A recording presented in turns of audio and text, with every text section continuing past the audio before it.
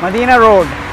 Also home to leading automotive distributors and as well as leading automotive brands in Saudi Arabia. Showrooms uh, of supercar brands, Lamborghini, Mercedes-Benz, uh, Ferrari. What basically I want to explore is the relationship between superheroes and supercars and is there any supercar available here that we can see, we can uh, have a look at and that may allow us to fulfill our superhero fantasies. I'm going to be checking out the supercars I found. My focus is going to be on Batman and basically the cars that I have shortlisted, the supercars I have shortlisted, in my opinion, they serve as the best inspiration for Batmobile. In 1941, Bill Finger, the writer, decided to take what Bob Kane had been drawing and dub it the Batmobile, and then working with Jerry Robinson, craft it as something that began to look a little darker, a little bit more serious, and a little bit more Batman. The relationship between supercars and superheroes is not something new. In the good old days, we were accustomed to fairy tales that had knights having horses, horses being portrayed as a symbol of heroism, whether it was the Arab culture or otherwise. People who grew up in Saudi Arabia in the 80s, they ended up watching TV series like Knight Rider, The A Team, Magnum PI, all of these three were fan favorites not only because of their heroism but also because of the cars they drove. Supercars have been part and parcel of our favorite heroes since the 60s. It started with Adam West's Batman. Uh, the Batmobile that we saw in that series was a Lincoln Futura. Motor Company has the basic car that we used.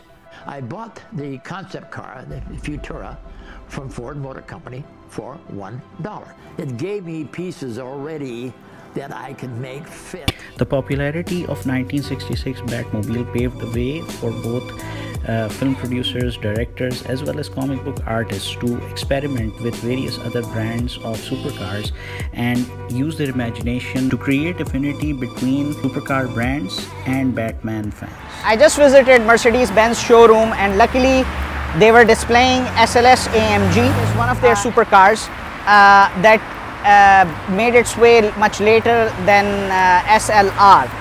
Now, over the years, I've always had this feeling that Mercedes-Benz was offering one supercar model after another that would work really well either with Bruce Wayne or with Batman. Now, the good thing that happened for us was after so many decades of seeing Mercedes being a preferred car for the Russians or the French or the bad guys in James Bond movies, finally got itself in the Justice League movie. But at least the SLS AMG provides a base for anyone who owns this car or for anyone who wants to imagine it as a Batmobile to work on it.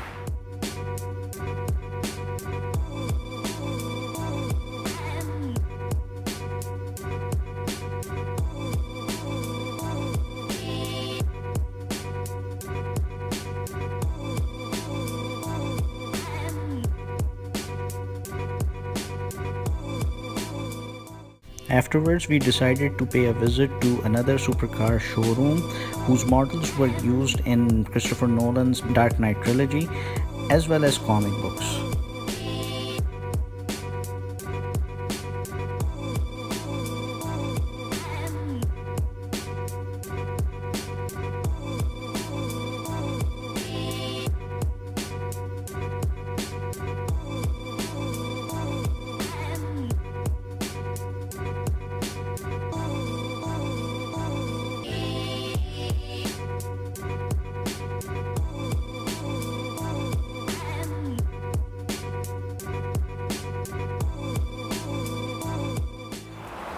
These models bring out the imagination.